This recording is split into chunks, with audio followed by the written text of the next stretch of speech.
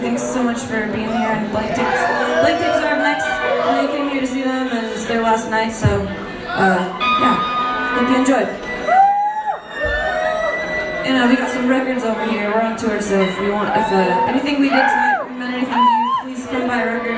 Um, hope to see you. Thanks.